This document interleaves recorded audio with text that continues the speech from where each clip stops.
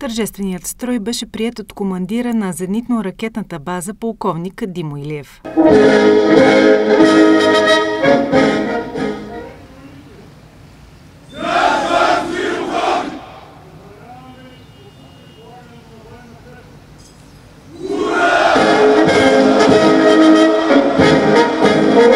Десетки военнослужащи от военните формирования 22-320 Божурище, 34-630 отново Божурище 34-420 в Костинброд и 32-610 Банкия целунаха бойното знаме, вричайки се във вярност към родината. Заклех се!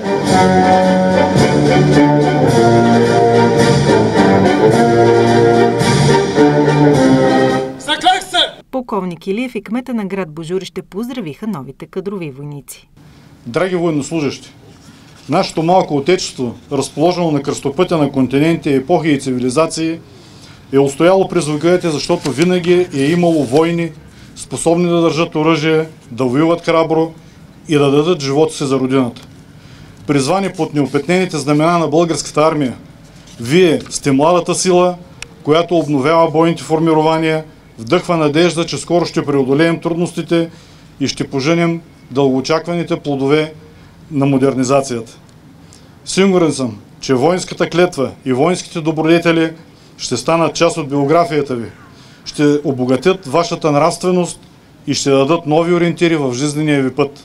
Тук пред нас стоят тези млади хора, избрали пътя на военната служба – готови да отдадат себе си, личното си време и живот в името на нашата родина Република България. Трябва смелост, трябва сърце, трябва съвест, трябва себеотдаване, за да бъдеш военнослужащ. А тези хора притежават всяко от горезборените качества. Ритуалът по полагане на военна клетва включи и водосвет за здраве, благоденствие и успех на военнослужащите. Традиционно събитието завърши с тържествен марш.